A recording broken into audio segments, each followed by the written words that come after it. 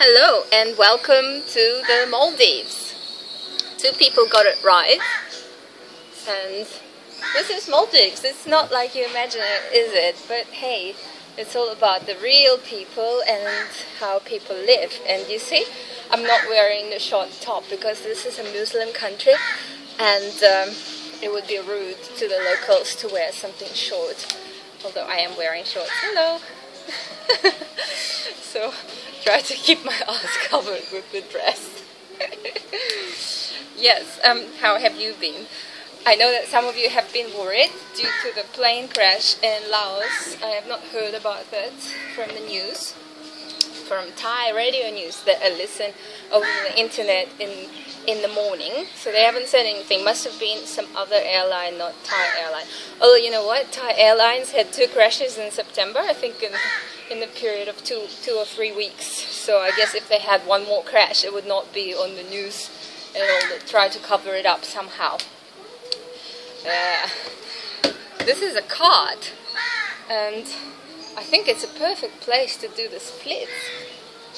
And my legs just fit, so it's perfectly designed for the splits. Could be riding it too. Can you hear the music? local music. The food here is really nice and the people are very friendly. I like the people, I like the food. The forecast, the weather forecast said that it is going to rain, but it's nice and sunny today and I think I got sunburned on the beach swimming. I didn't intend to get tanned because you know living in Thailand and everybody says that you should keep your skin white and not get tanned. Although Westerners are, as soon as they arrive in like to a sunny country, they go to the beach and get tanned, get tanned, and get sunburned and tanned, and you know peel and then get tanned again. So what is the huge deal about getting tanned? I'm trying not to get tanned because in Asia, white skin is considered beautiful because they all have darker skin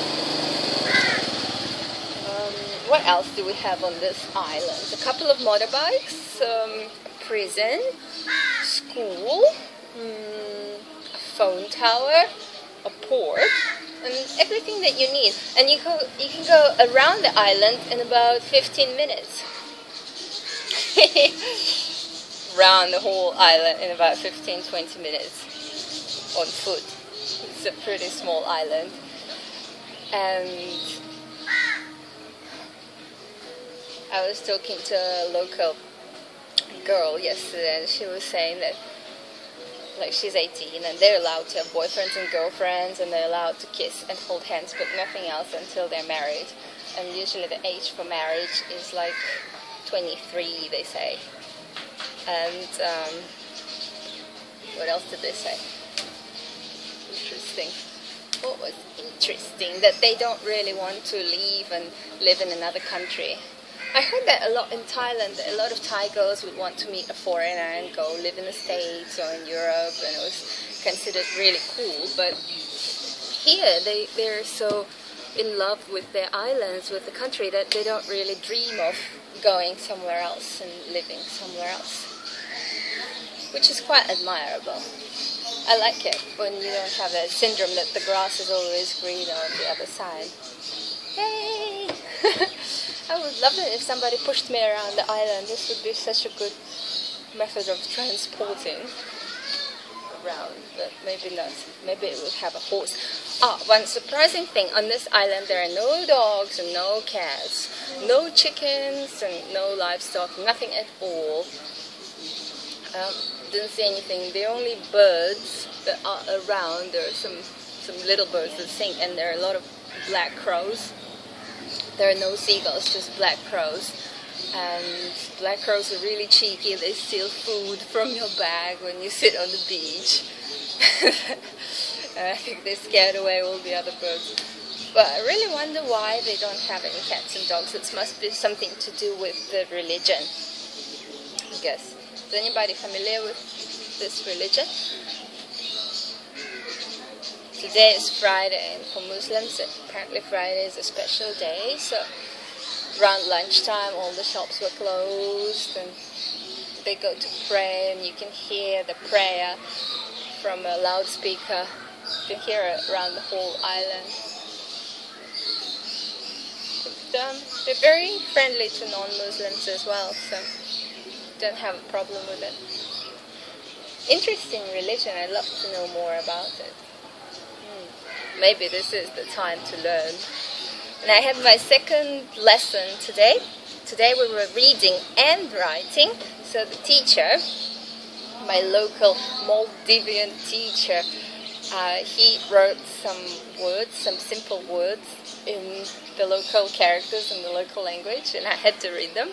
I think I got about 70 80% right, which was a real achievement, so exciting. And then he asked me to write some words as well. So he would say a word, and I would have to write it down in local characters. That's harder than you think. And when I would write it wrong, he would say, "No, I said that." And like, "That's what I wrote." No, no, no, that's different. Still, with every language, there is subtle difference. When we hear it exactly the way they say it, and we think it's right, but it's actually exactly like something totally, totally different. We're going to do the nose toe thing again.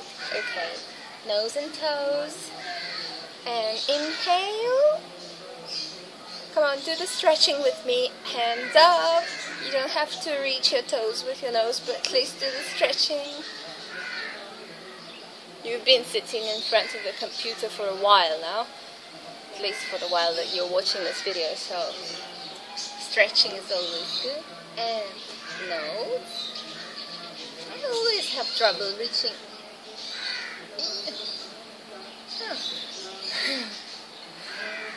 Yes, on the yellow trailer thing.